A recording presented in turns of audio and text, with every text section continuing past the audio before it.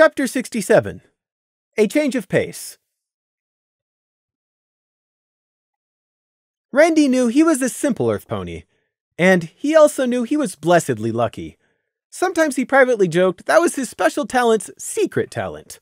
It was a dumb joke, though, so he didn't waste any pony else's time by telling it.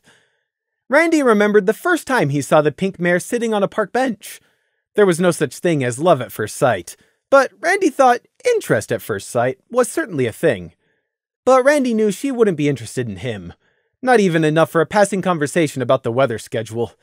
So he ducked his head and got on with his job, turning over the flower beds in the Canterlot Park.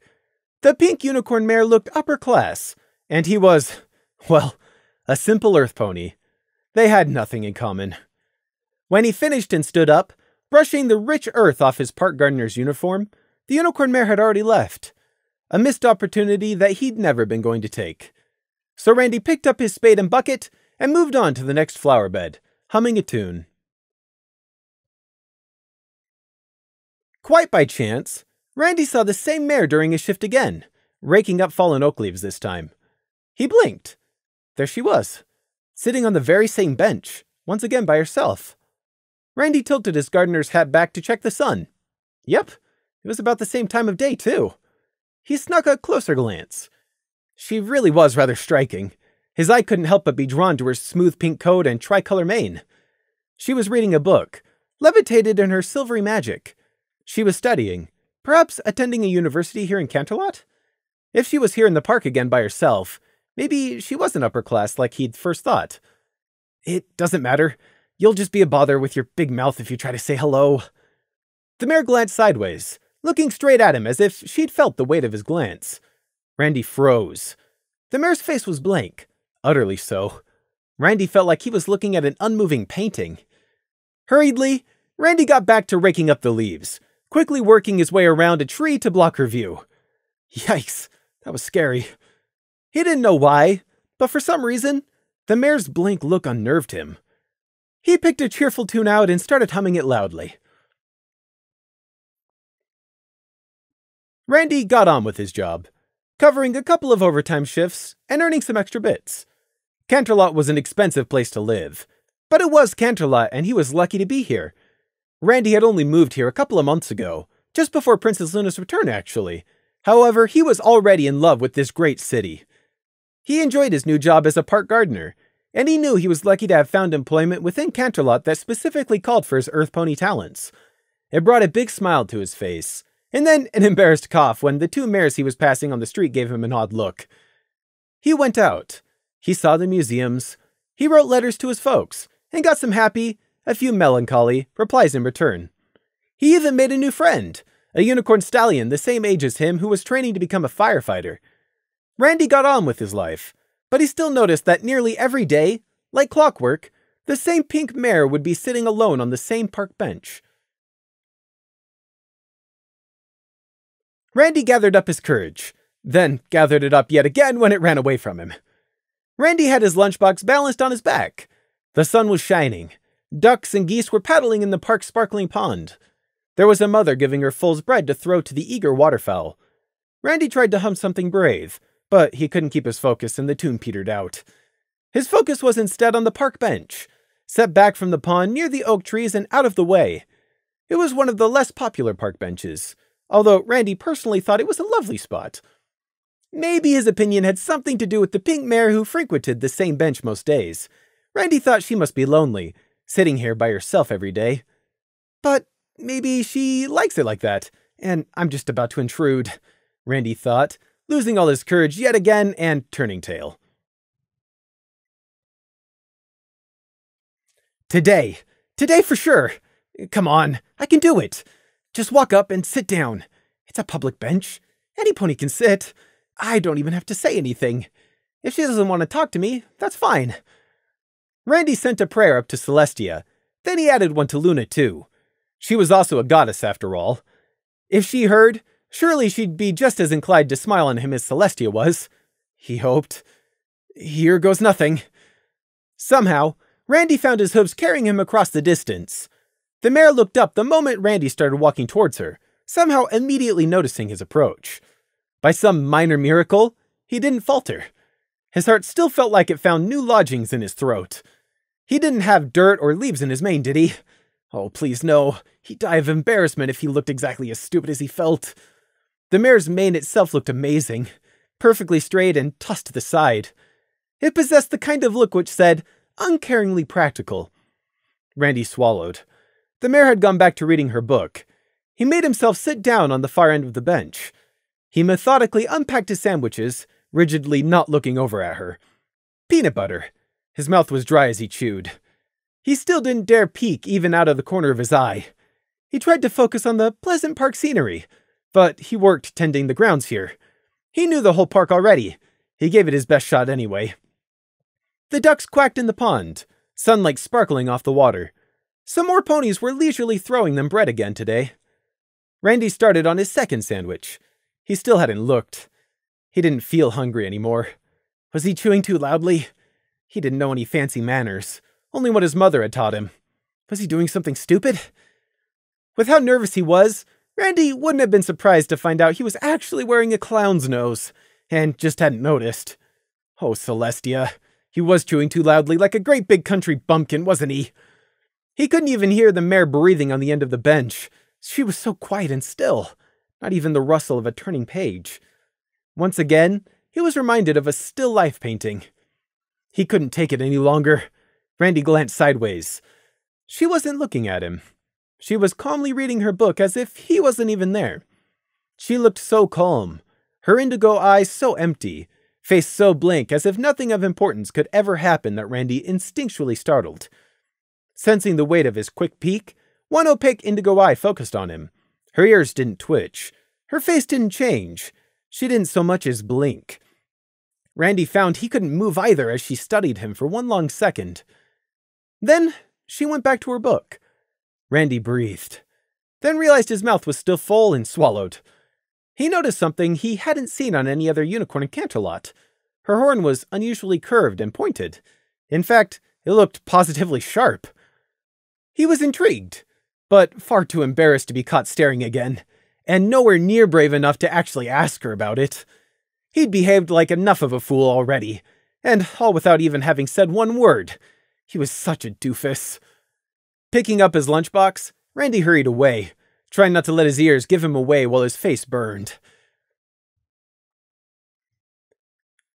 Randy ate a spiced potato wedge off the plate. He liked hot food. Fiera always accused him of cheating by having an earth pony's stomach and claimed it wasn't fair. The Healthy Heffa's pub was starting to fill up with the evening crowd. There was going to be a musician playing tonight. Hey, um, Fiera, Randy asked around his potato wedge. Fiera looked up from hungrily devouring his pasta bake. Fork paused mid levitation. Uh, yeah, Randy? He asked brightly. What does a curved horn mean? Eh. Fiera looked blank. Um, I saw this unicorn. She had a curved horn and it looked sharp. I'm new to Canterlot, but I haven't seen any pony with a horn like that before. Is it rare? Oh. Fiera put down his fork, looking shifty. Well, it's not something nice to talk about. Unicorns with those kinds of horns are supposed to be bad sorts. That's what's supposed to happen to your horn if you cast. Fiera leaned in close and whispered, Dark magic. What? Really? Uh huh. Well, to be fair, I don't think it's completely true. But still, the story has got to come from somewhere. Get what I mean? Um, not really? Huh. I suppose you wouldn't really get it. Just watch yourself around any pony with a horn like that, is what I'm saying. Hey, that musician guy's finally here! Sweet! Randy sat back, absently eating his spicy potato wedges as the unicorn musician, playing both a bass and a banjo at the same time, started up. It was impressive, but he was thinking about the pink unicorn mare and what Fiera had said. Rather than be warned off, he just felt sympathetic. Poor her. Imagine having to grow up with ponies constantly judging you for just having a different horn. His grandpa kept chickens. He remembered there was this one albino chicken which was mercilessly pecked all the time by the others. Randy briefly thought of the bat ponies as the first song came to an end. He hadn't seen a single one of them yet, despite his time in Canterlot. Apparently, they only came out at night. Yeah, but bat ponies have fangs and are scary. She wasn't scary. Okay, she was sorta. But she's probably sick of ponies avoiding her because of her horn. That's sad. Randy made up his mind. He was going to go back and sit by her again. He'd try to be friendly. That was the right thing to do for a fellow pony. Plus, she was pretty. The tips of his ears inadvertently heated up. No, don't be chauvinistic, he told himself. He was just a simple earth pony, not born within Canterlot. Just be friendly. Every pony needs a friend. Randy didn't think of himself as good friendship material, but after what Fiera had said, he'd feel bad if he didn't at least give it a try. Resolve was all well and good, but when the time came in the bright light of day, Randy still found his heart back in his throat again. He couldn't find any tune to hum for courage. But somehow, he still managed to make his way across the park during his lunch break to seat himself on the bench. After his conversation with Fiera, he couldn't help but sneak a glance at her horn again. Yep, still sharp and curved. But he couldn't see anything ominous or dark about that. And once again, she didn't react to his presence, either with annoyance or surprise. Nothing, just completely blank as she read yet another book. But Randy was positive she knew he was here. He quickly looked away and unpacked his lunch to eat again. Perhaps today she would say something? Could she want a friend? Nope was apparently the answer a quarter of an hour later. Maybe she's just shy. She didn't seem shy to Randy. She seemed utterly indifferent. It was off putting, even a bit intimidating. Not even her ears twitched to signal if she was enjoying her book or not. Randy tried to think of some excuse to start a conversation. His mind helpfully drew a blank. He was still trying to think of something by the time he'd finished his sandwiches. He was sweating by the time he'd slowly put away his lunchbox and still had nothing. What should he say? Just shut up and go? Try again tomorrow? Run away and never come back? No, he had to say something. He wasn't allowed to go until he'd sent at least one thing to her. See you tomorrow, he finally blurted, and turned to go. Stupid mouth, why'd you say that? Stupid simple brain. Why didn't you have anything better? Randy thought as he hurried away in embarrassment. Perhaps. The one word answer came from behind him utterly disinterested.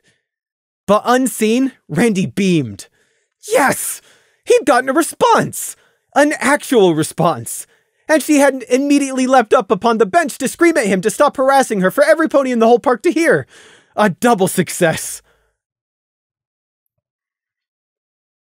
Randy was humming as he finished emptying his net of the pondweed out into the wheelbarrow.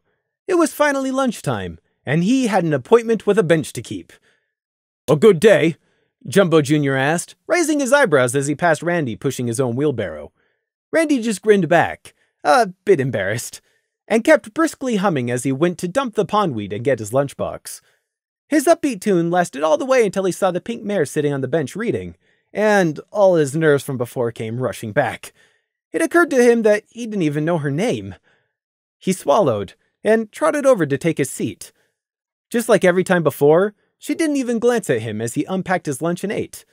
He finished his sandwiches, jam today, and still nothing being said in a reenactment of yesterday. She said we'd see each other again today, but she didn't say she'd be happy about it, Randy's mind helpfully told him. Randy sat there, feeling dumb and stupid, and wishing he'd thought this through better. Hey, uh, can I ask your name? Randy blinked. Oh, sugar! His mouth had asked that without him meaning to. Yes, she said without looking away from her levitating book. Um, what is it? A pause. Lemon Pink. It's nice to meet you, Miss Lemon Pink. I'm Randy, Randy Pickaxe. A pleasure. No change in her coldly calm demeanor to indicate it was actually a pleasure, and those pretty lilac eyes of hers never ceased roaming the lines of the book. Nevertheless, Randy smiled, because there'd been no annoyance in her tone either. A win was a win. He sat back on the bench and enjoyed the sounds of the park and the sun until his lunch break ended. He returned to the bench the next day to find Lemon Pink sitting there once again. She came for an hour nearly every day, arriving and leaving like clockwork. It was probably her lunchtime too, and she came to enjoy the nature of the park although he'd never actually seen her eating anything, just reading. She must be really dedicated to her job, or studying, or whatever it was she did. Randy sat down on the bench and put down his lunchbox. Hello, Miss Lemon Pink. Hello. Just Lemon Pink. That was all she said, reading yet another new book title today. There was a 10 minute silence as Randy ate his sandwiches. A warm breeze blew through the park and faintly rustled the oak tree. Can I ask what you're reading, Lemon Pink? Spell Formula Construction Affinity. Randy craned backwards on the bench to catch a glimpse of the page Lemon Pink was on. He saw paragraphs and paragraphs of cramped text, interspersed with mathematical diagrams he didn't even have the faintest chance of understanding. Definitely not a good old fashioned picture book. Smart and good looking. And way out of his league. Not that he even had a league. He was just simple Randy Pickaxe. He was happy to settle for some friendly company on a park bench. Randy was lucky, but he was also realistic. Possibly making a new friend was lucky enough for any pony. What are you thinking so deeply about? Fiera asked suspiciously, pausing in mid trot. Nothing, Randy quickly said. Okay, sure. Hey, we're playing hoofball on Wednesday as part of a team building exercise, but we can invite any pony along too. Want to come? Uh, yeah, thanks. I'd love to. Randy sucked at hoofball, but it would be a good laugh. Time continued on like that. The first week, a second, and a third. Randy would come to the bench each day he was at work to eat his lunch. Sometimes Lemon Pink wasn't there, and sometimes when there was a lot of work which needed doing when somebody else was off sick, it was him who wasn't there.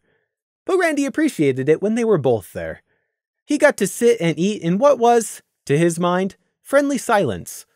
Although, he did wish it wasn't quite so silent, but it was still nice. Randy got on with his park job, had to change flats, which Fiera and a couple of his firefighter in training mates helped him move into. He wrote back home, put up with his younger sister when she came to visit and had to sleep on the couch so she could have his bed, and generally enjoyed everyday Canterlot life. Some days were a pain in the flank, but most were great. That was normal pony life. Lemon Pink was still as detached and calmly unemotional as when he'd first plucked up the courage to sit down next to her, but Randy no longer found it off putting. That was just Lemon Pink, and since it was him she was tolerating, Randy would happily take it. Lemon Pink usually sat in silence, but today, very unexpectedly, she asked a question. What do you think of the night? Uh, sorry? The night? Do you mean like the stars and stuff? Yes. How do you like the night? Lemon Pink's tone gave no indication one way or another how she might feel on the matter herself. Randy shrugged, feeling a bit self conscious. Lemon Pink almost never initiated any conversation herself. I guess I do like Princess Luna's nights, yes. Lemon Pink silently turned her head away from her book. Princess Luna, what are your views on her? Randy was confused. Uh, what do you mean? She's Princess Luna. She's a goddess a goddess of the night. But how do you see her next to Princess Celestia? Randy was now more confused. Luna and Celestia were the princesses. They just were. Like water is wet and the sky is blue. Um, the same? They're both the princesses, and they both protect and watch over us. Sure, Princess Luna has only come back recently, but two alicorns are better than one, right? Randy thought he might have seen the slightest downwards twitch of Lemon's mouth. But no, it was gone. Yes, Princess Luna is Celestia's equal in all things. Day and night. Both are just as important. Lemon Pink half lowered her book, surprising Randy. She was always reading. He'd bravely asked about that before, and Lemon had said she came to the park for a mandatory rest period, but that she read and studied anyways because there is never enough time, and that she could not afford to fall behind. Lemon spoke slowly, to no one in particular. Before Princess Luna's return, I watched the nighttime heavens avidly, the mare and the moon especially.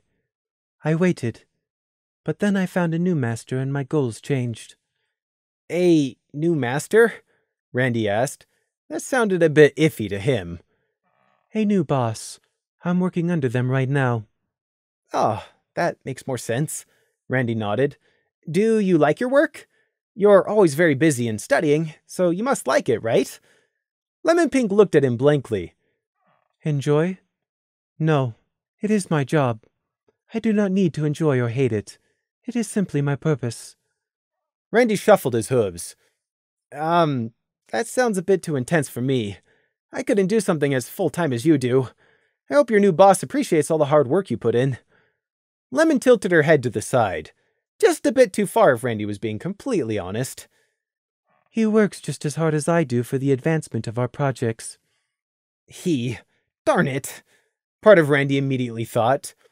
Lemon's answer marked the end of the conversation for today, as she lifted her book back up and returned to casually reading about things that Randy knew would give him an immediate headache. School was not one of his fondest memories. Randy wished her goodbye as his lunch break came to an end, and left her to get on with digging guidance post holes for the new Silver Elm saplings. See you tomorrow, Lemon Pink. Perhaps. You are very quiet. Randy started. He twisted on the bench to look at Lemon, who had spoken, breaking the peaceable silence. Um, I, uh, yeah, he replied intelligently. What does she mean? This is what they always did. Lemon Pink seemed to have heard his thoughts. I don't mean today. I meant overall. You are a quiet person. That was another one of Lemon Pink's eccentricities. She said people, not ponies. Um, thanks, I think. Today, Lemon decided to expand on her statement. A rare treat. Usually, she would only say the bare minimum. She lowered her book to look at him sideways past a strand of silver mane. Most ponies don't do well with silences. They are sociable, forward, and seek to engage everyone. What would merely be taken as reservedness among other species is antisocial among pony kind. You've gotten to travel and meet other species? Randy asked, a bit surprised. Lemon's expression didn't shift, but Randy got the definite impression she was giving him a look. One doesn't need to travel far to meet other species. Really? Donkeys, sheep, cows, goats. They don't have to be griffins, minotaur, zebra, or diamond dogs. Randy blinked. He'd never, ever thought of it like that. Wow. But Lemon was right. A bit guiltily. He tried to remember if, on any of the few rare occasions where he'd met goats, cows, donkeys, and sheep, if he'd inadvertently been making them uncomfortable by being too, well, ponyish. I hadn't thought of that. Then perhaps you should. But back to my original point. You are a quiet and patient pony, Randy Pickaxe. Randy nearly blushed. That sounded like a compliment, but it was hard to tell with Lemon. Her expression and tone were always so closed and guarded. Is that a good thing? Lemon looked over him critically, making him freeze. To be frank, it is a welcome surprise. As I said, most ponies cannot keep quiet and simply be. It is appreciated. Now Randy did blush, his face and ears heating up. You're welcome. He was so glad he kept his big mouth shut all those times he'd really wanted to start a conversation instead but she'd said she appreciated it. His mouth started to stretch into a smile. I'm just glad I wasn't boring you and you were just being too polite to tell me to eat lunch somewhere else. Don't worry. If your company was an annoyance, I would simply get you to leave. Ah. Randy faltered slightly. He somehow didn't doubt Lemon Pink could have done exactly what she'd said. She was a slight and rather beautiful mare, but not once had she ever given him the impression she wasn't in control. In control of what? He didn't know. Just in control generally, he guessed. Lemon Pink returned to reading her book. Randy bit his tongue, looking around at the greenery of the park around them, the oak tree rustling overhead. Well, now, how am I supposed to say anything after getting told that my best feature is staying quiet? Lemon let out an almost imperceptible sigh and lowered her book on a History of Unexplained Magical Phenomena Through the Ages. Again. Ask. But. um, how did you. You're a very obvious and straightforward person. Ask your question. Those were good qualities, right? Those also sounded like compliments, right? Randy shuffled his hooves, unable to help himself. what's your job? You've never actually said. Lemon didn't answer straight away. She looked at him. This wasn't a look like before. For absolutely no reason that he could think of, Randy sensed he'd asked a dangerous question. Randy wasn't used to danger. The most dangerous thing he'd done recently was going for a tackle and hoofball. Randy swallowed. Why is she looking at me like that? Lemon shifted her gaze back to her history book, letting Randy breathe out. My job is sensitive. I'm not supposed to discuss the details. Oh, er, I didn't know. Lemon paused for a moment. But as a general description, my job role involves research, both magical and normal, and also looking for some investment opportunities. Oh. That made all those books Lemon was studying fit. There was another silence. Randy fidgeted with his hooves.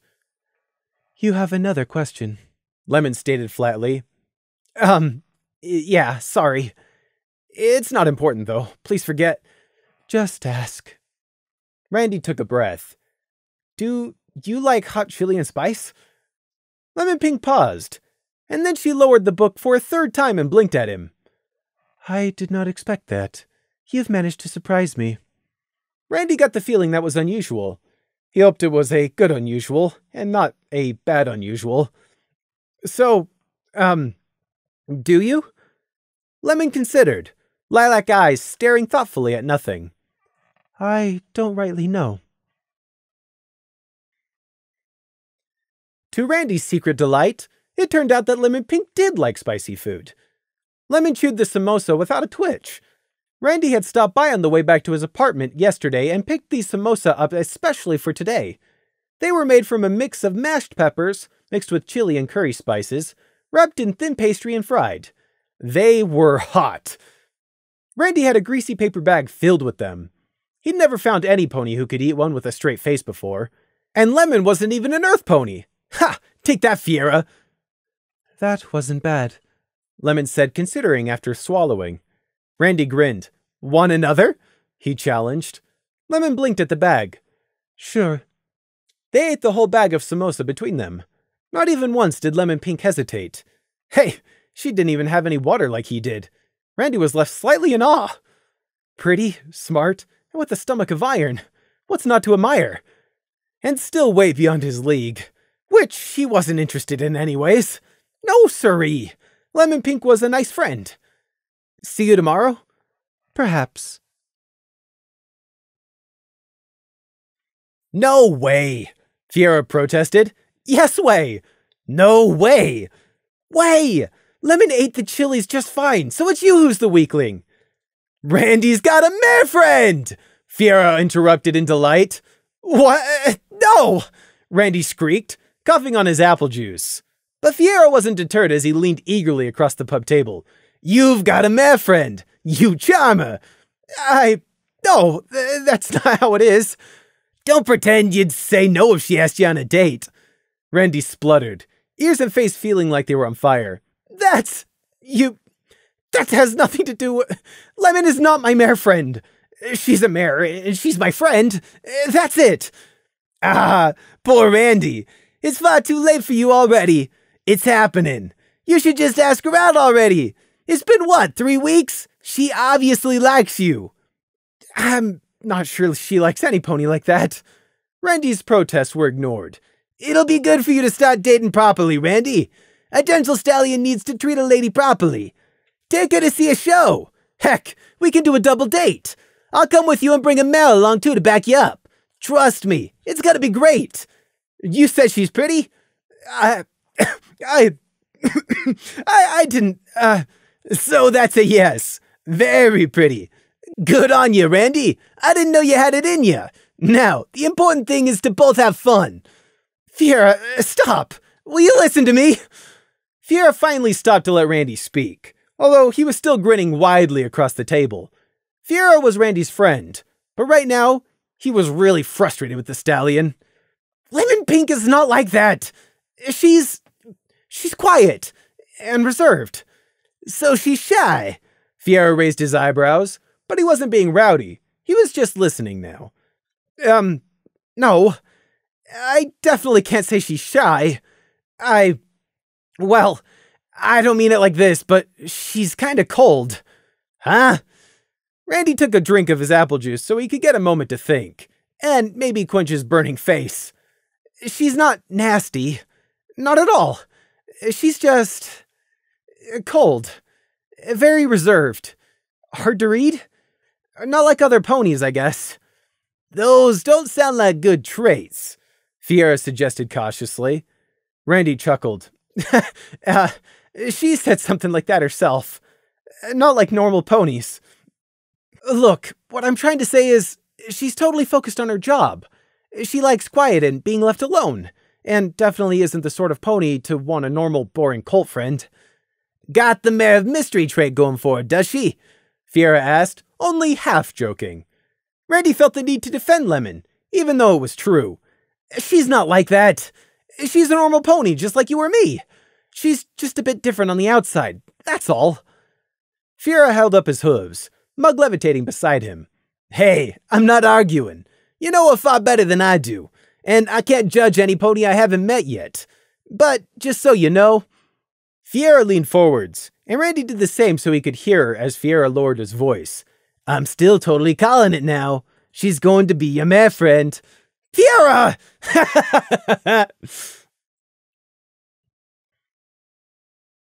Fiera wasn't laughing the next day, though. Neither was Randy. Every pony knew about the inferno down at the Oak Quarter lumber yard from last night. It was in all the newspapers.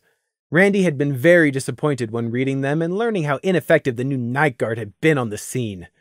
He'd been even more disappointed, though, at lunchtime when Lemon Pink hadn't been at the bench. Their bench, as he was coming to think of it. Randy knew the chances of Lemon Pink having gotten caught up in anything to do with the fire were remote, but his mind was still worrying. He really hoped she was okay. But his disappointment still paled next to Fiera's. Randy was here for his friend tonight. Fiera had bags under his eyes, and his mane was still a bit tousled up. He and the rest of the firefighters in training had been woken up and summoned out to help with the fire, too. Fiera was so downcast because he hadn't been able to help. Once there, all the firefighters not officially qualified had been stuck on the sidelines and told to keep out of the way. Then, early this morning, the news had come that some pony had died on the scene. Or some griffin? The newspapers weren't exactly clear. Fiera was taking it hard, despite it not being his fault or responsibility in any possible way. Randy patted his friend on the back. He felt for Fiera. He really did. What kind of pony wouldn't care when their friend was in distress? Randy was paying for the drinks tonight, and they were actual drinks, not just cider and apple juice. I hope Lemon Pink's okay wherever she is. Oh, thanks, Celestia, you're back! Randy exclaimed without thinking when he came to the park bench and spotted Lemon already there under the oak. Randy didn't notice the twitch in Lemon's face at choosing to thank Celestia. Of course I am.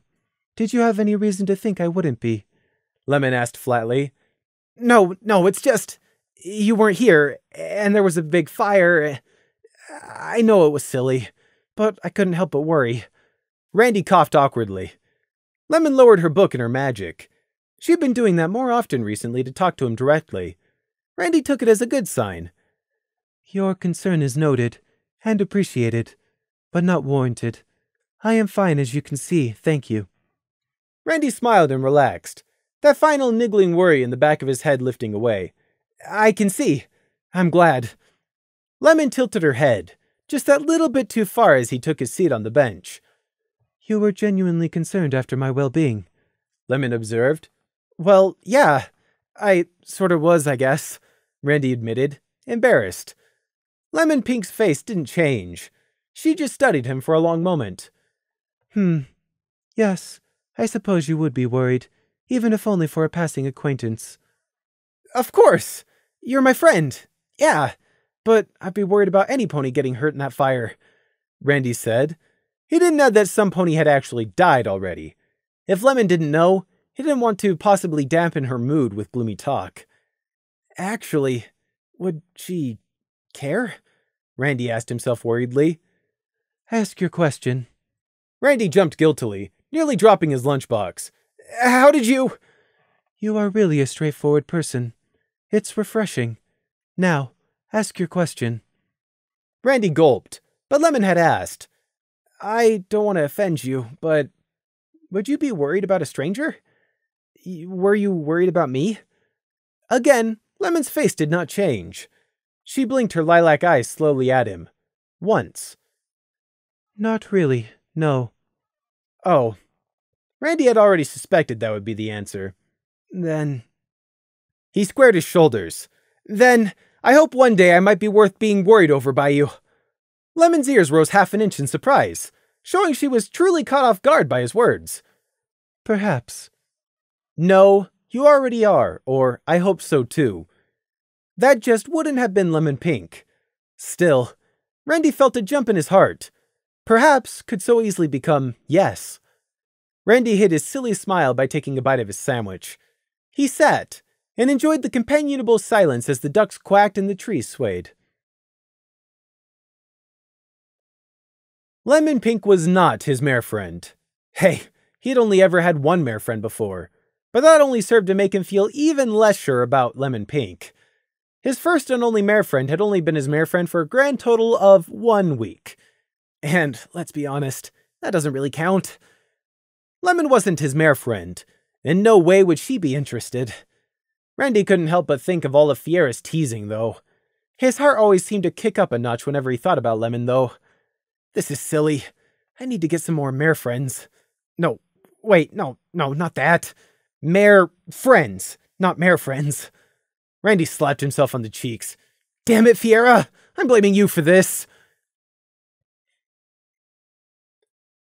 Randy sat down on the bench. His hooves were shaking. He was sweating. There was a frog squatting in his throat. He was as nervous as a colt asking out a filly on a date for the first time, which was rather accurate. But it wasn't a date. It wasn't. It was just a meal. Not a date. Only a friendly meal. No date or calendar in sight. Definitely not a date. Randy cleared his throat and spoke, facing forwards. Uh, hello, Lemon. Hello, Randy Pickaxe. All right, good. He'd said hello. The required greetings were out of the way. Now he just had to ask Lemon on a not date. All he had to do was ask nicely. Any second now. Randy ate his first sandwich to buy himself some time. Then he ate a second one. Any time now, mouth would be great, Randy's brain said. His heart and his mouth both told his brain to shut up. Ask your question. Randy jumped yet again. How did she always know? Not even his mum could call him out so accurately. Lemon Pink was looking at him over the top of her levitating book, sharp horn gently glittering silver. Randy's brain abruptly chickened out and screamed it wasn't ready. His heart and mouth both smugly informed him, I told you so. Randy cast about frantically and seized upon the first thing he saw to provide a distraction. A couple of unicorn colts crossed the pond, throwing a ball back and forth and laughing. Do you have any brothers or sisters? No, no siblings. Oh, an only child? Did your parents spoil you then? My sis is my mom and dad's favorite.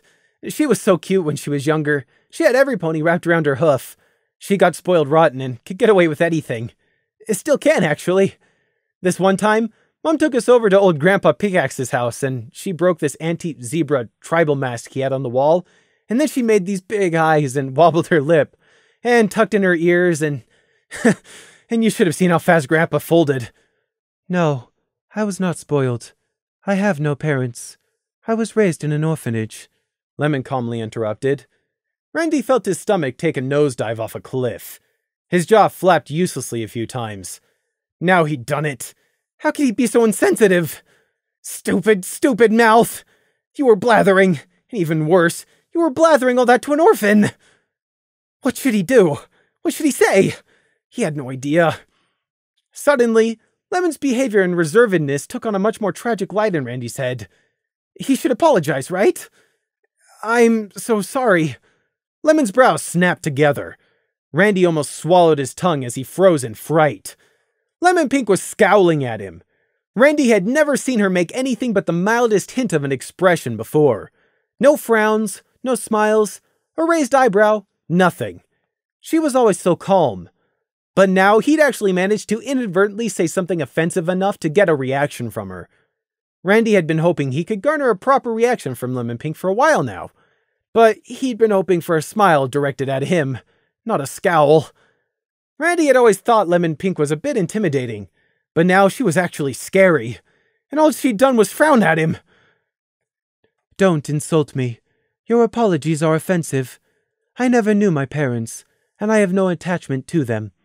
I am not some poor, pitiable, homeless waif, and even were I, I would not thank you for so much as nodding to me on the street.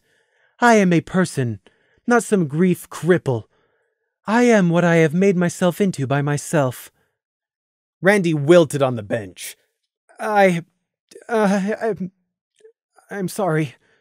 Sorry? Lemon asked sharply. I mean, I'm sorry that I said sorry. Not that you have no parents. I mean, not that either. Randy cringed. Lemon Pink kept up the scowl for a long moment more, before letting it dissolve and her face smoothed back into impassive calm. Her ears hadn't even gone back in anger throughout the whole thing. Randy breathed again. It was official. He, Randy, was a simple simpleton of simple mindedness, simpleness that loved to eat simple pie. Hmm, that was a bit of an overreaction on my part, Lemon mused, gazing at her book. No, no, you were well within your rights to feel that way, Randy hastily reassured her. I know I was. I am not second guessing myself. Lemon cut him off. Only that my reaction was a bit strong. You don't know any better and meant no harm. You're too honest and straightforward for that. Um, thank you? Randy said cautiously, not quite sure if he should relax just yet. That was a compliment. I find those characteristics rather hard to come by in a person. Randy felt his stomach do a funny little flip. Did that mean he didn't just look like a huge idiot to her? Could she possibly see him as a teensy weensy little bit endearing? It's now or never. Randy's mouth seized his courage before his heart could work out what he was doing or his brain could stop him. I know you're very busy with work and all, and this is out of the blue, and I don't want to impose. B- but, um, could I invite you for a meal? Dinner, I mean. At some point, not today. Uh, I mean, it didn't have to be today, but today would be fine too. Randy suddenly regretted everything. But it was too late now. The words were already out. He held his breath. Lemon seemed taken off guard. She turned and tilted her head at him, just that little bit too far to the left as she was wont to do. I am busy. I am always busy. I have a job I must do. There isn't further time for more free time. Randy was crushed. Lemon had no interest in anything more than a conversation partner at lunch, and now he'd ruined even that by being greedy. It was official. He, Randy, was the biggest, dumbest, most stupid cult who ever did speak to a mare. Lemon Pink stared into nothing. I have a task, yes. I don't have the free time, yes. But, no. I have more important. But, if I wanted. No. If he knew. But, no. Yes. No. I should not. Lemon's mumblings petered out. We. I would not mind doing that, actually, Randy. Randy's crushed chest felt like it had miraculously been reinflated. Had he misheard? Did Lemon really just change her mind? Oh, thank Celestia!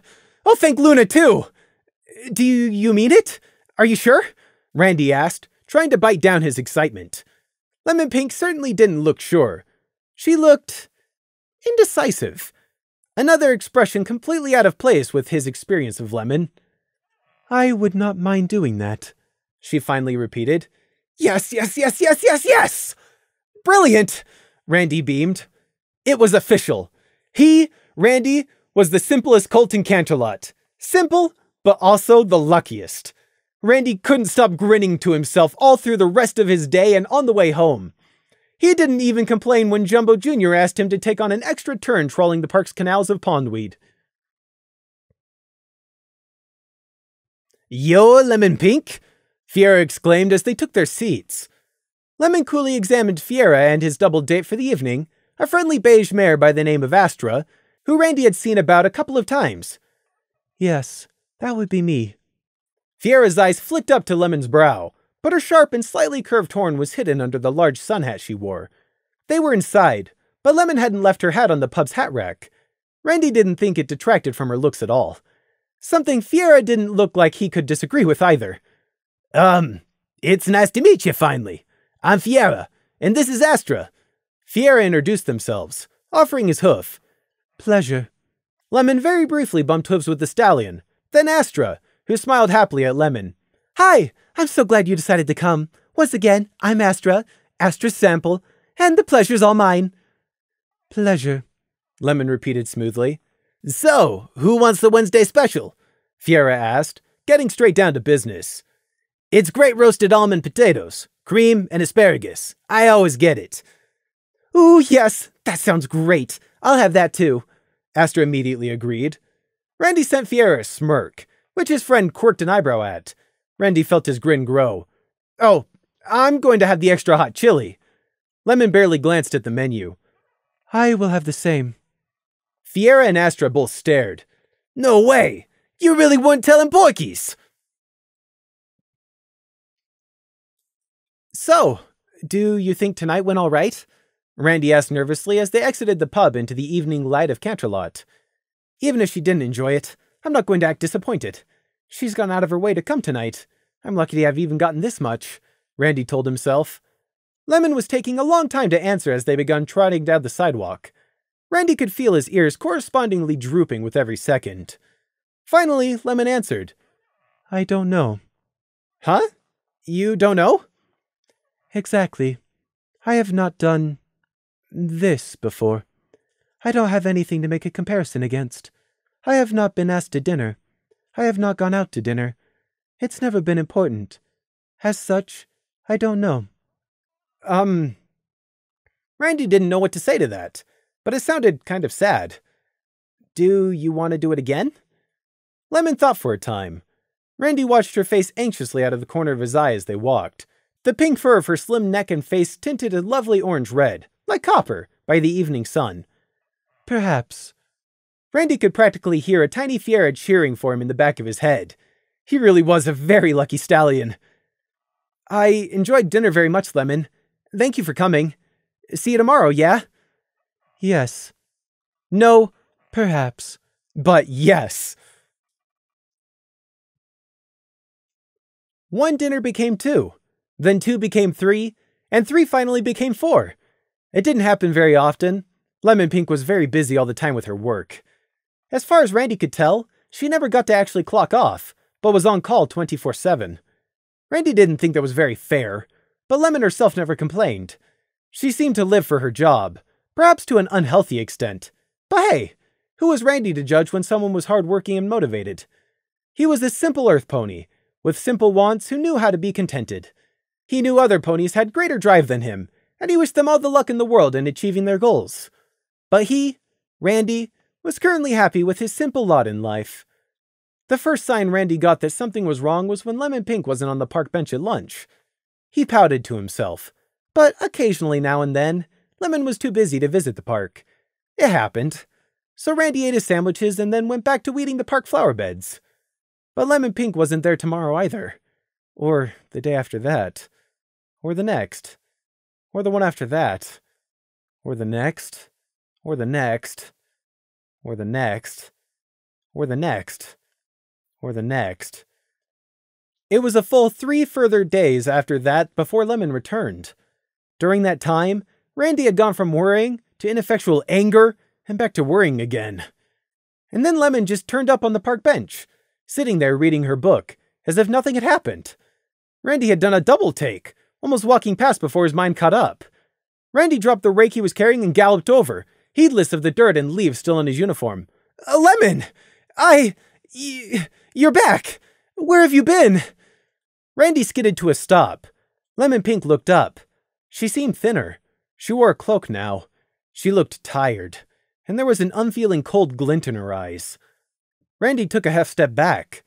Lemon blinked, and the look was gone, replaced with mild surprise. The very corners of her lips twitched upwards. Hello, Randy Pickaxe. Yes, I am back now. Yes, I. Where have you been? Have you been sick? Surely not. She would have still told him if that were the case, so he wouldn't worry at least, right? Lemon glanced over his uniform, then all the way back across the grass to his dropped rake. Lemon missed nothing. Your lunch break isn't quite yet. You still have a quarter of an hour. Go, finish.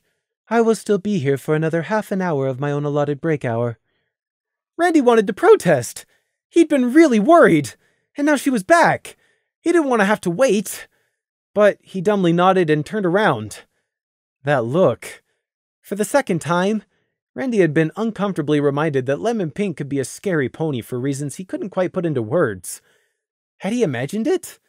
Where had she been? What had she been doing? Randy's mind whirled as the last quarter of an hour flew by, and before he knew it or could decide what he wanted to say first, Randy found himself back at the bench, now devoid of rake and gardener overalls, before Lemon Pink. Lemon Pink lowered her book and patiently waited.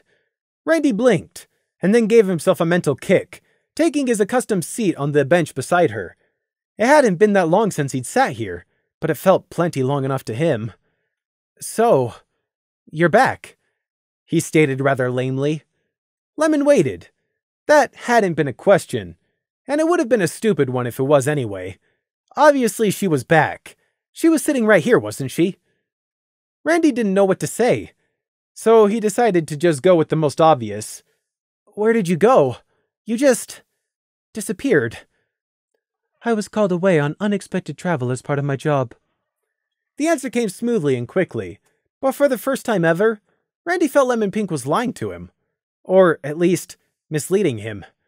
Usually, if he asked something and she didn't want to answer, she'd just bluntly tell him no. It just didn't fit. Randy swallowed. Okay. Right, okay.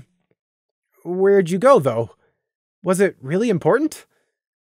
It was outside of equestrian borders. The journey was rather arduous. I needed to catch several overnight trains in a row to get there as fast as possible. The issue, which I am not to discuss, was of a time sensitive nature. It was a serious case of time is money, and money is time. Why, though? I mean, you're working so hard all the time. Can't your boss ever send some pony else? Or go himself? It's not fair it's always you who has to do it, Randy protested. Lemon looked drained and worn. That wasn't fair. Lemon flipped a page in her book as she read. She wasn't looking directly at him, but Randy felt she was watching him intently all the same. It was an emergency. My boss was dealing with it, but he needed help. Couldn't you just say no and get him to ask some pony else? Randy insisted. Lemon stiffened. No, I cannot. But that's not fair! You could totally say no. There's workers and employment rights. He can't keep forcing you to work 24 7. It's illegal. Randy was upset. How dare some pony treat Lemon Pink like this? Maybe a tiny part of it was because he was angry that because of this selfish boss, he hadn't gotten to see Lemon Pink for all this time.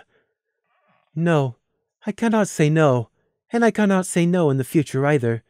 You do not understand the importance of my work, or who I work for. Then explain it to me, please. Help me understand. What's so important it seems to. to. to consume your whole life? Lemon didn't move for a moment. Then she snapped her book shut and put it carefully down on the bench. Then she turned her full attention to Randy. Randy was a bit astonished and taken aback. He had Lemon's full attention, something he didn't think he'd managed to achieve before, not even on their meal dates, where she was always watching everything. He'd wanted to gain it before, but now Lemon's hard eyes were boring into him. Could she see his soul? Lemon considered him and Randy couldn't help but feel like he was found wanting. I have said before you are not like most ponies, Randy Pickaxe. That is a good thing. You are straightforward, which is also good. But as a result, you often miss what goes unsaid. For your benefit, I will say it clearly. She lifted a hoof, cloak spooling over her leg, and pointed at his chest. I do not want to tell you where I went. She paused, expression closed. And you would not want to know, either. A cold thrill went through Randy's heart. He'd thought it before, but Lemon Pink could be a scary pony. Actually scary. Not just scary like a bully or something. If her words were true, and he really wouldn't want to know, What could that mean? What could have happened? Randy licked his dry lips. Another thought occurred to him. Is that why she insists she can't say no to her boss? Are there consequences if she says no? This was scaring him. Randy was a simple pony. He was just sitting on a park bench on his lunch break. He wasn't supposed to be dealing with all this. He didn't have the first idea of what to do. He was just Randy, simple and lucky. Lemon Pink was his friend and he was hers. He didn't want any of this to happen to them. I can't deal with any of this. I'm just Randy Pickaxe. This is all. I. I don't know. Lemon sighed softly through her nose. You really are easy to read. So straightforward. You want to help. You see this as something you need to get involved to help with. Stop. This isn't your problem. But. It's not your problem. Stop trying to solve it. There is so much you don't know and are misunderstanding. So stop, step back, and leave it alone. I don't. It's not your problem. Leave it alone. I'm just worried. I'll say it one more time. Leave it alone. There is nothing you could do anyway. You are missing all context to the situation. You could tell me the context? Randy dared to venture. Lemon shook her head firmly. No, and truthfully, you would not want to know either. Randy believed her. He didn't know what it was, but it had to be something dangerous, bad, and secret. His mind couldn't help but throw up some suggestions. Blackmail? Espionage? Spies? Some kind of gang? Should he go to the Royal Guard? No. Randy rejected the idea almost as soon as he had it. No, this was Lemon Pink. She didn't want his help. And if the guard could help, surely Lemon would have gone to them already. Plus, she kept insisting that he misunderstood the situation. Well, he was a simple pony. So she was probably right. He almost certainly was completely misunderstanding. That thought brought him a measure of comfort. Lemon was much smarter than him. She must know what she was doing. Or if she couldn't deal with it, then at the very least, she would do a much better job than he ever could. Lemon must have seen the acceptance on his face, because she nodded, allowing herself to lean backwards. Don't overthink this. It is nothing I can't handle. Don't worry, Randy Pickaxe. I know what I am doing. Okay. All right, okay. I'm sorry for making a fuss, Randy said, lowering his ears in contrition. Lemon Pink tilted her head in that slightly strange manner of hers at him. Hmm. You really aren't like most other ponies if you can just accept that. Most wouldn't. They always have to stick their noses in. Randy ducked his head. Yeah, well, I'm just simple Randy. There is nothing wrong with being simple and straightforward. Randy jumped in shock. How? Lemon shrugged blandly. You really are easy to read. So honest. I like that. Randy blushed. He didn't even quite know what was happening anymore. He kept getting thrown for a loop.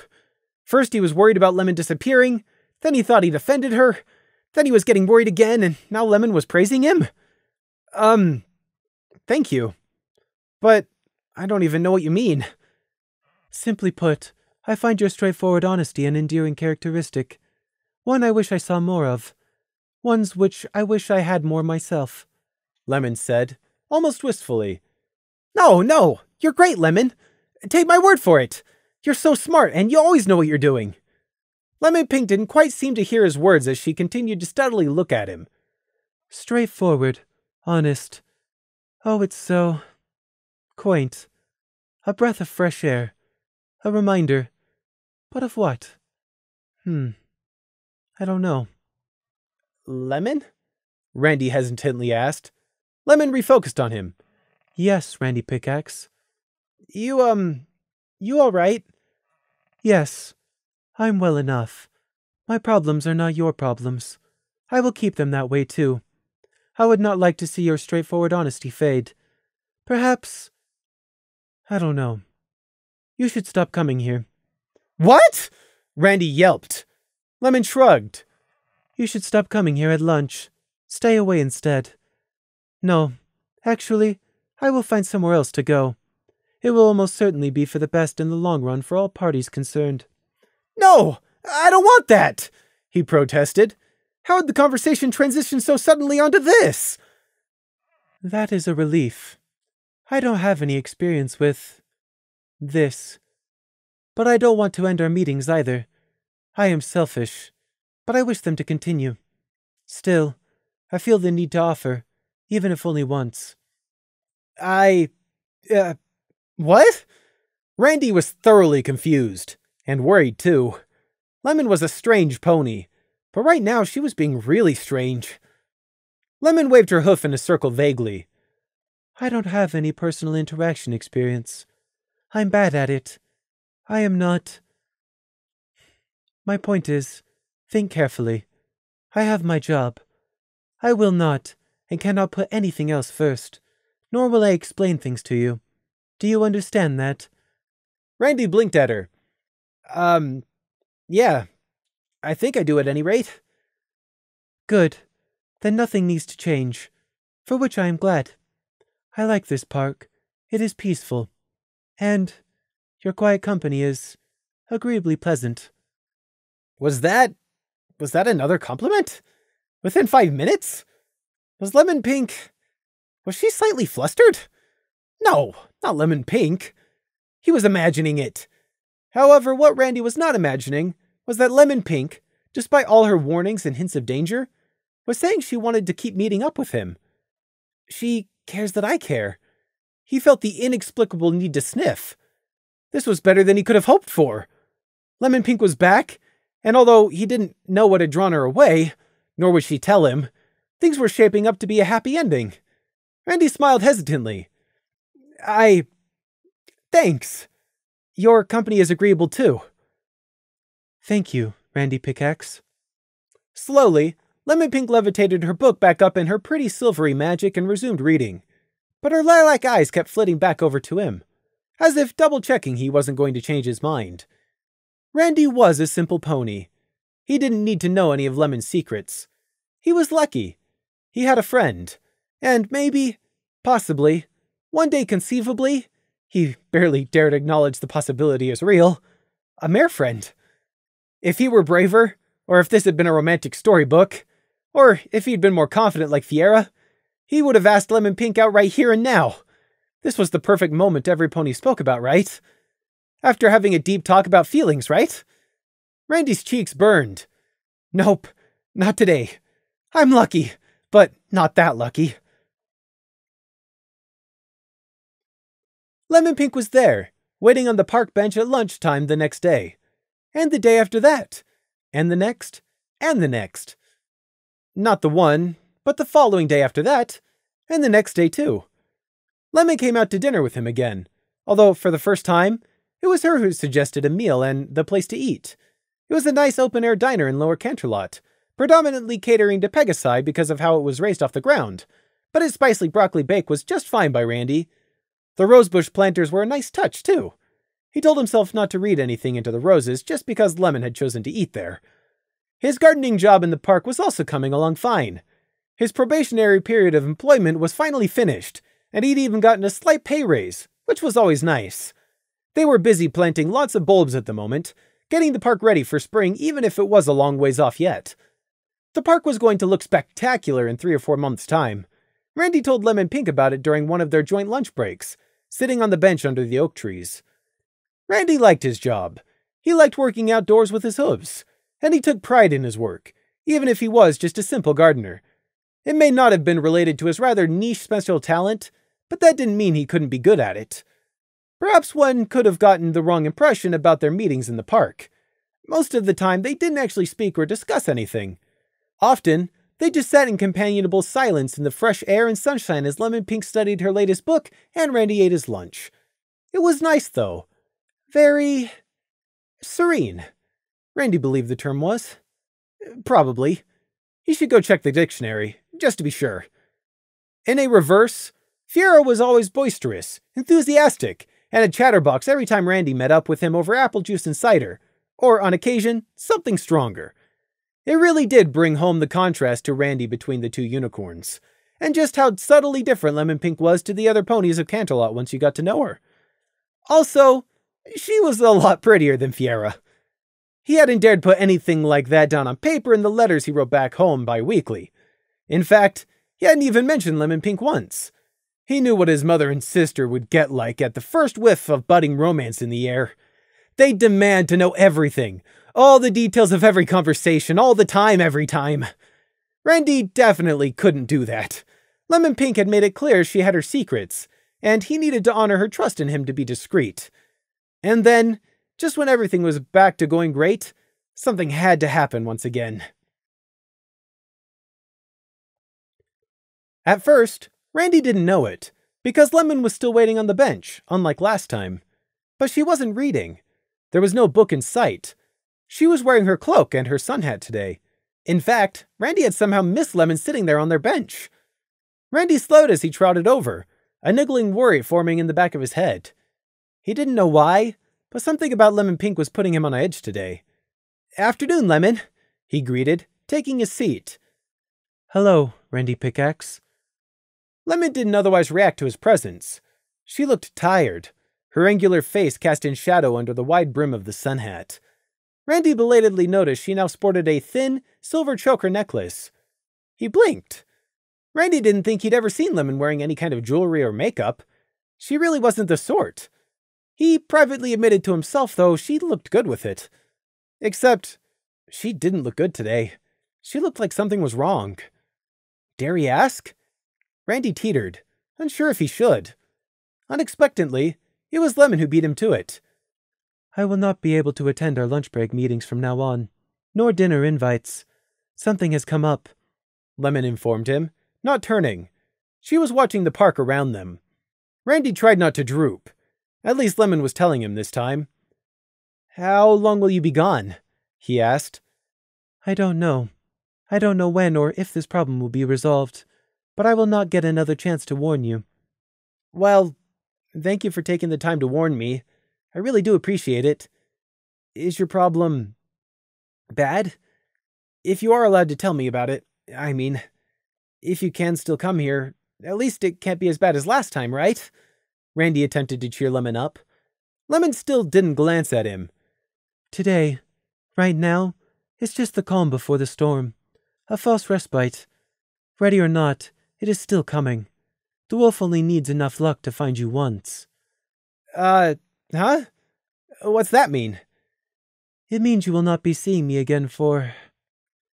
I do not know how long. But do not look for me. In fact, it would be best for you to not mention me to others if at all possible. Randy really didn't like the sound of that.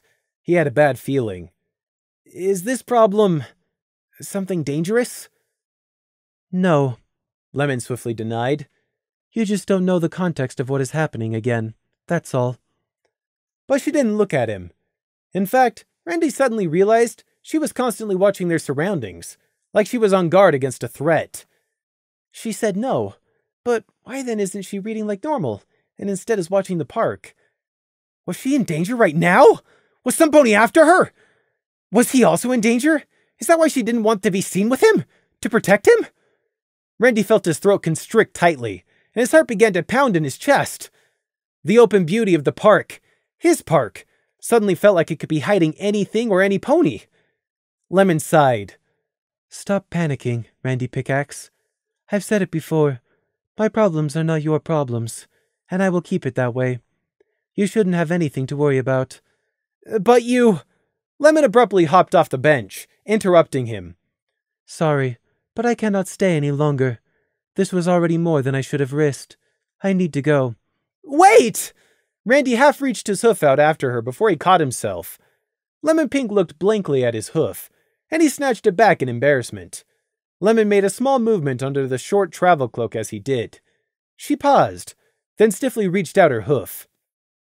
Randy froze as Lemon awkwardly, almost reluctantly, patted him twice on the shoulder. I am not him. Yes, I am Lemon Pink. I can be different, she murmured. Was that supposed to be at him? I. I don't understand. I don't understand any of this. Lemon patted his shoulder again. Two awkward pats once again. No, I don't imagine you do. It's for the best that it remains that way. I will see you when I next see you, and not before. Randy had things he wanted to say, questions he desperately wanted to ask, but he knew Lemon wasn't going to answer any of them. He looked down at his hooves.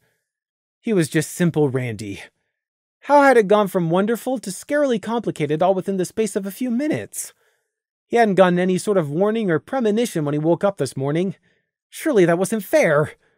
He glanced up, mouth opening. Le. Lemon Pink was gone. Randy blinked. Still gone. He twisted on the bench, looking around the park. Randy couldn't spot her anywhere he could see from here.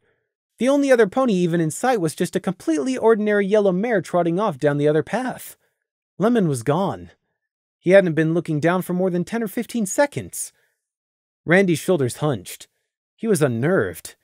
He didn't know what was happening with Lemon Pink. Her words had made him feel unsafe for the first time since coming to this marvelous city.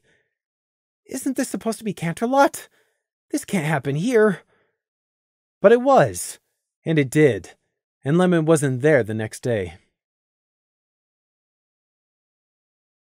Lemon Pink did not reemerge either, even though he still looked each day despite her warnings.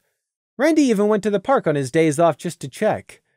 Randy tried to focus on other things, telling himself there was no use worrying over Lemon. And there were things to claim his attention. His life was more important than one pony. He wrote home he met up with Fiera and the stallion's new mare friend. He cleared out the attic of his new apartment, painted the wall, cooked for himself most nights, ate out once or twice, got a nice second hoof sofa for free, went to see an amateur magic stage display, did the newspaper crossword at breakfast, but. but always in the back of his head, he had always returned to worrying about what was happening to Lemon Pink. He felt small whenever he thought about it. He was just a simple pony, living a simple life. Lemon said she liked that about him, but she was a much bigger and more complicated pony compared to him. She here and then gone. She had secrets. She was confident. While he was just sort of. here.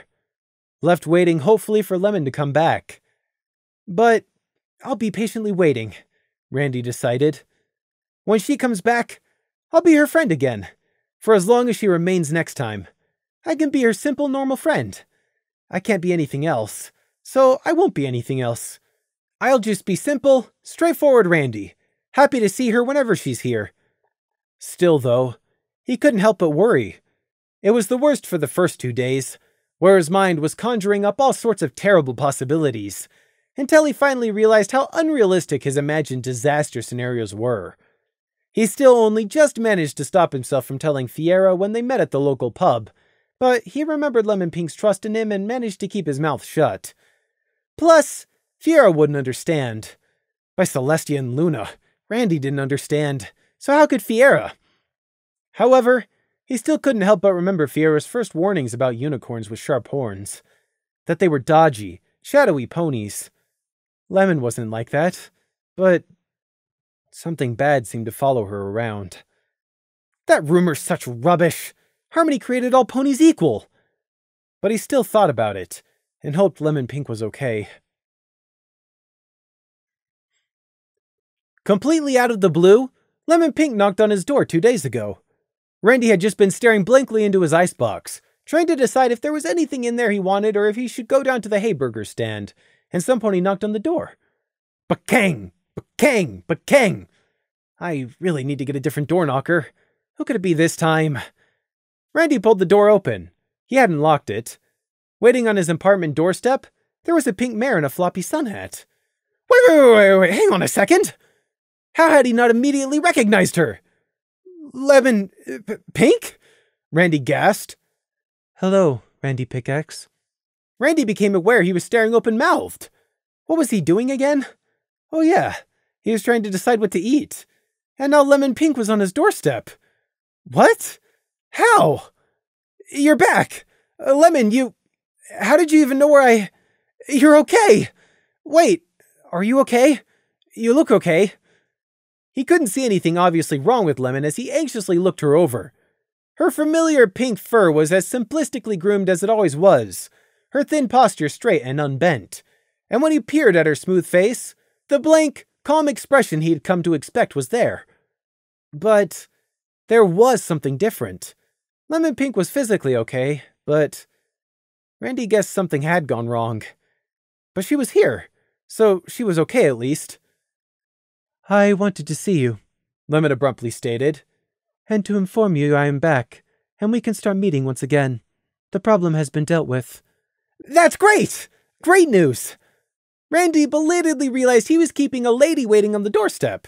Oh, I'm sorry. Come in. Please feel free. I'm so glad I cleaned this place up today. Lemon didn't immediately take up his polite offer. She glanced around, cautiously looking both ways first. I suppose it couldn't hurt. As Randy led her into his small living room, he wondered again how she'd even known this was his house. I must have mentioned where I live at some point. Probably just can't remember when. He was just happy that she was back. His step felt like it was physically lighter, and she had sought him out all of her own accord, too. How great was that? Randy turned around in his living room. It isn't much, but it's home sweet home. Lemon's eyes flickered around, assessing as she paused at the entrance. Don't be so dismissive. There are many who have less. Randy winced. Did Lemon mean she herself had less? Or just that she had seen ponies with less? He felt immediately guilty, and then ashamed. How could he be so quick to forget? Lemon had just returned from struggling with Celestia only knew what. He shouldn't have said anything like that. I'm sorry. Are you really okay? Yes, I am well enough. I could certainly be much worse if things had happened only slightly differently. Randy sucked in his breath. What things? No, I forgot I shouldn't ask. But, uh, you're back now, right? He smiled as brightly as he could. Lemon nodded, still looking around his house. She hadn't moved to take the sofa seat he'd proffered her. The problem at my work is past, and my boss is okay now. It. Never mind. It isn't important. But yes, I am back and around in Canterlot now. There was a long silence as each of them stood there. So, can I ask why you're here? You're more than welcome, of course. I just wasn't expecting. I wanted to come see you, Lemon stated. The tips of his ears were starting to burn. He coughed and mumbled something unintelligible. Ah, it seems this is a bit sudden for you. I don't have any experience with having friends. Would you prefer I leave your home for now and we can meet as normal tomorrow? Lemon inquired, very politely. You don't have any friends? Randy asked before he could stop himself. You're mistaken. I do have friends. Oh, good. When you said that, I thought. You are my friend. Randy looked at Lemon Pink. He remembered getting to know her, remember how reserved and cold she was. Sadly, he could all too easily imagine it. An orphan, with her crooked horn, self dependent, confident, and having earned everything she wanted in life through her own hard work and dedication all by herself. Lemon Pink was really strong, but she also sounded like she was lonely. That's really so sad, Randy thought, but Lemon didn't want his pity. He'd just be insulting her. Yeah, Lemon was so strong she didn't need pity. Randy straightened himself and put on a smile. Well, I'm really glad you're back safely. I've missed getting to sit by you in the park. I really do appreciate you coming to let me know. I was worried, but now I'm not. So thanks. Lemon blinked at him. Randy faltered only briefly. He couldn't let his courage flee this time. Lemon Pink, can I ask you out to a meal? Tonight, as a date? Lemon looked at him sharply. A date? By which you mean as a partner in a relationship? Um, yes, please, Randy squeaked. There was a long silence while Randy sweated. His mouth was dry. Lemon Pink didn't move. Presently, he realized she wasn't going to either. His heart sank into his hooves. If. if you don't want to, that's fine. I'm sorry for pressing you, he mumbled. Lemon Pink finally stirred herself. I do not know. This is not. I have no experience with this. I don't know what the correct answer is. Eh, that's. that's okay. I understand. You're trying to let me down easy. I'm sorry I asked. No, you don't understand. You're misunderstanding my meaning. I mean, I don't know if I want to answer yes or no. Randy's heart jumped back up out of his hooves. Dared he hope? So, does that mean. I don't yet know. I need to think on it more. My orders. No. This is my decision. Yes. I haven't decided. So for now, perhaps. Yes! I said only perhaps. Lemon Pink interrupted his celebration. Let's go to dinner. Not as a couple, as friends. I will let you know either way once I've decided. But Randy couldn't stop grinning. His face was hot and he knew he was blushing. But he was so relieved. He hadn't ruined everything after all. And even better, he had a chance. His tail was almost wagging. After a meal of extra hot green chili curry, Lemon Pink provisionally said, Yes. Bakang! Bakang! Oh! Randy dropped his pencil on the table, jumping off his stool and hurrying for the door, dodging around the sofa on the way. He was already smiling in delight and anticipation. He all but threw the door open, exclaiming, Lemon Pink! And indeed, it was Lemon Pink waiting outside, just as it had been the day before yesterday, although no sun hat this time. She lifted her chin slightly, so she could coolly examine him past a wispy strand of silver mane. Hello, Randy Pickaxe. Randy couldn't help it. He smiled when she said his name. Lemon did not return the smile. Randy stepped aside to let her inside, mostly because he was being polite, but partially because he didn't know why. I was hoping you'd come by again, Lemon. I didn't know if you would, and I didn't want to expect you, since I know how busy you are, so thanks again. Randy chuckled nervously as he led the way into the living room. He knew Lemon appreciated silence and disliked pointless chatter, but he didn't quite seem able to stop himself today. Just like last time, Lemon stopped at the entrance to fully examine the room before entering, even though she'd already been in here once. Strange. Take any seat you want. Can I get you anything? I can put on the kettle. No, I am fine. You are not expecting anyone else to visit this evening, are you? Lemon asked, pausing to look at the letter he'd been writing on the table. He hadn't gotten much further than merely addressing it Hi, Mom and Sis and Grandpa Pickaxe if he's staying. Send Dad my.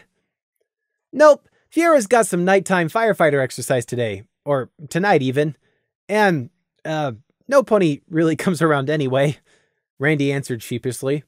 Lemon might not have any other friends at all, but he himself also had less than he'd like. Lemon didn't quite look at him. She looked past him, not meeting his eyes. I see. Thank you. Huh? Thank you? For what? Randy didn't get to ask. Lemon moved around the table, coming closer. So, this is the one. An airy, childish voice spoke. Randy nearly jumped out of his skin. There, standing next to Lemon Pink, was a white foal. No, wait, not a foal. A lamb. Huh? Yes, Prey. This is him, Randy Pickaxe. Gah? Randy repeated intelligently. Lemon had never said anything about her foalsitting before. The young lamb was smiling cutely at him, the blue ribbon she wore nicely matching the sky blue of her eyes. An earth pony! That's something, I guess. Randy finally snapped back to reality, smiling at the foal and bending his head to address her. Uh, hello there. Uh, why, yes, my name is Randy. Has Miss Lemon Pink been talking about me? It's very nice to meet you. Uh, what's your name? My word, She's as cute as my little sis was at her age. The lamb's smile grew an inch. Lemon already said, I'm Prey. Randy did a double take between Lemon and the filly. What kind of a name is that? That's a lovely name, he proffered. If the lamb was smiling before, she was positively beaming now, so wide that her eyes scrunched shut. You were right, Lemon. He does make an awful liar.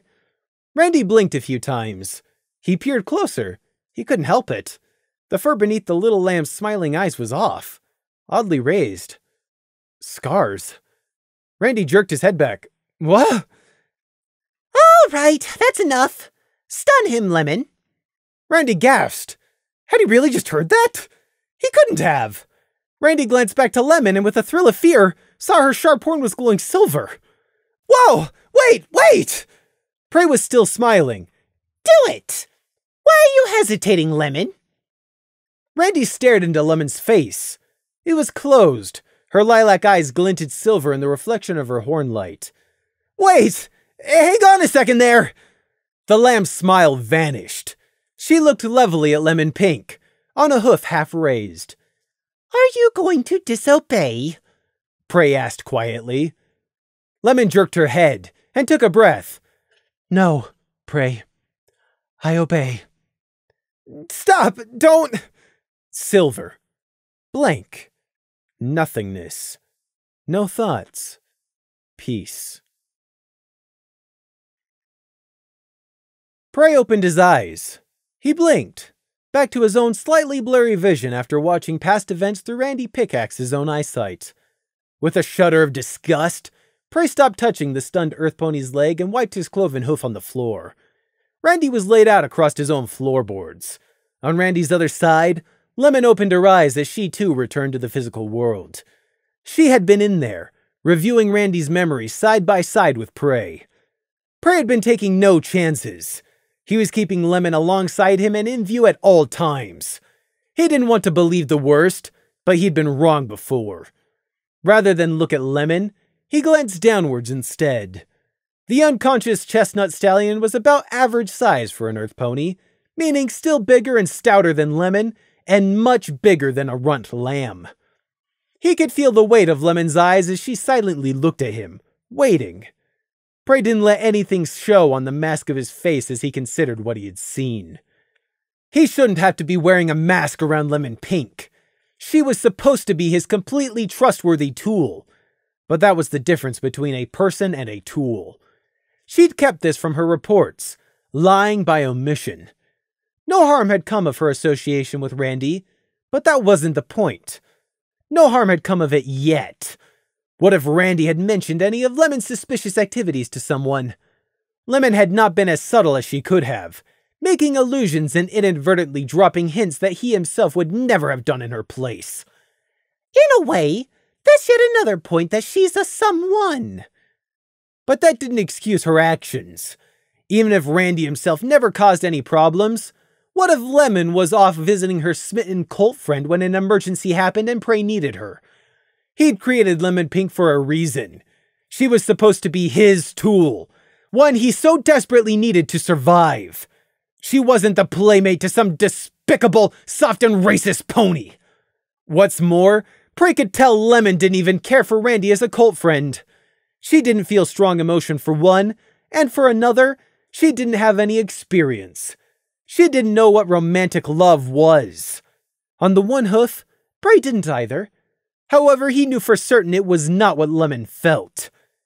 Interest. That was what she felt, and nothing more. Like one might feel for their pet dog. Prey had created Lemon as best he could, blending a copy of his memories with the scraps left of Night Watcher. But even so, she was less than whole. So she was trying to fake it until she made it. It was likely Lemon Pink would have responded this way to the first other person who showed interest in her, but it just happened to have been Randy. Prey could see right now that if Lemon had been allowed to continue to interact with Randy unnoticed, it wouldn't have ended well. For Randy. Or maybe not for Lemon Pink either. She had acted outside of his expectations here. Who was to say she couldn't do so again? That's what people did. They acted outside of your expectations. Tools didn't. Lemon was still silently watching him. She was tense, but she would do whatever he said. Wouldn't she? Could he answer yes with a 100% certainty? She saved my life. She crossed the mountain range. She fought the thieves. But she also murdered all of her Diamond Dog guides to hatch her Veropede. Just like Prey had murdered the people of Alfalfa Dale. Prey thought of the Diamond Dogs. He thought of the Alpha.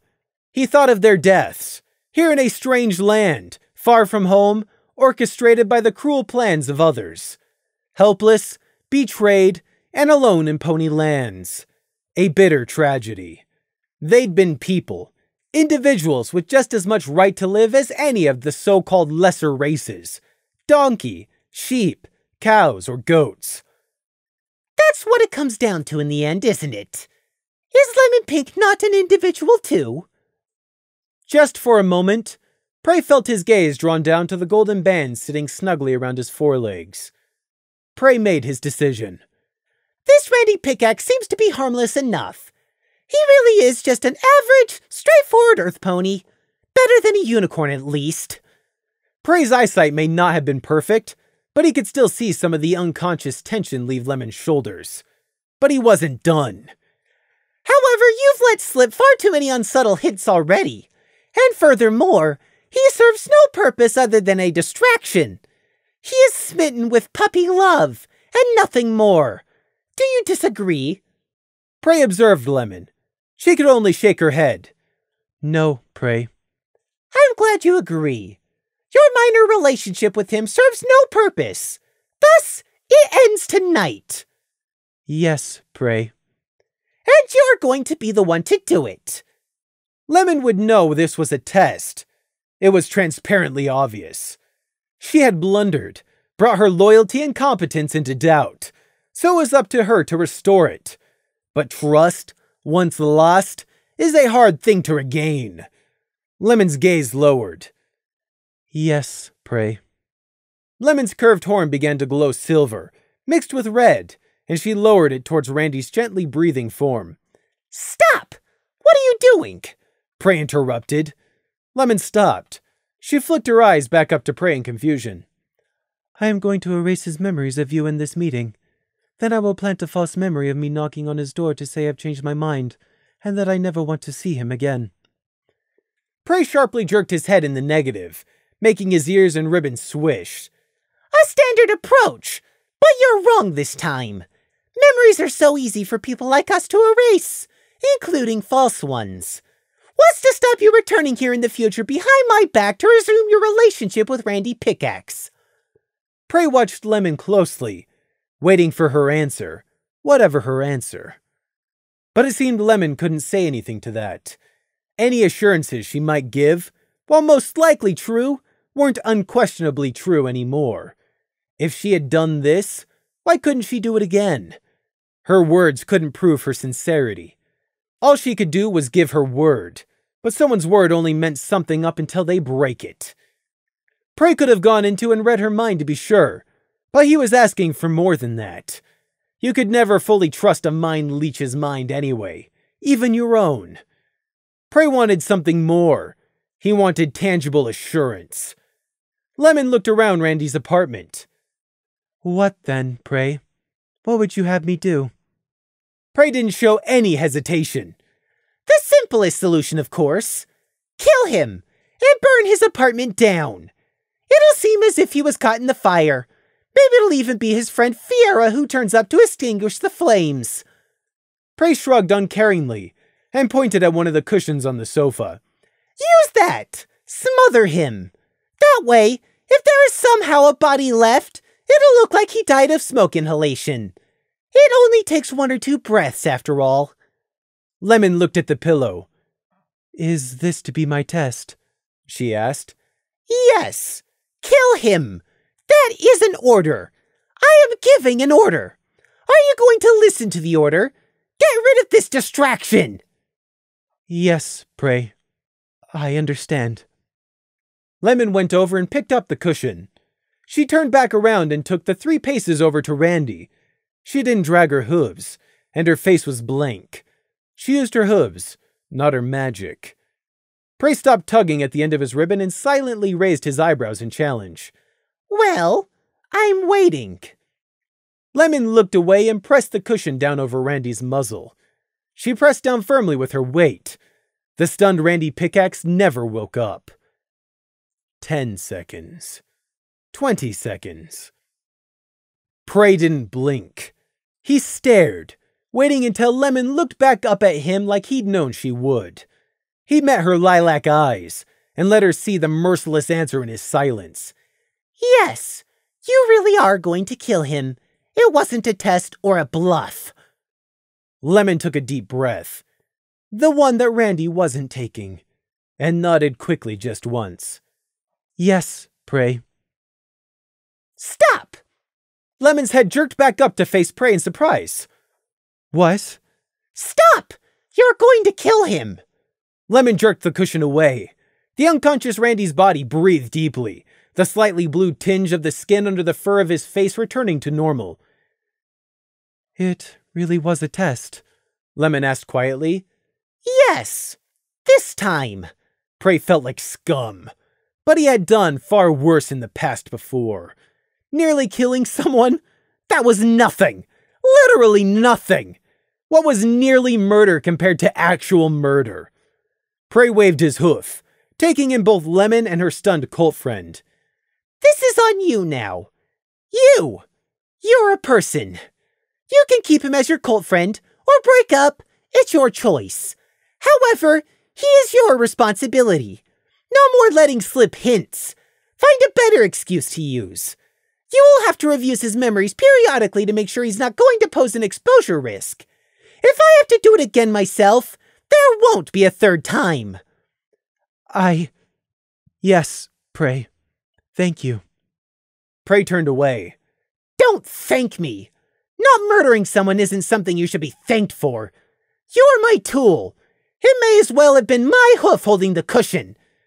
But if you're not my tool, then you're a person. And if you're a person, that murder would have been on you. So think long and hard, and make damn sure you like the answer you pick. Just. Lemon Pink was not compromised. She'd prove she would kill even Randy if he ordered it. Was that good or bad? Prey sighed. Just erase his memory of this meeting. You can stay afterwards if you want. Have fun. I'm going. Yes, Prey.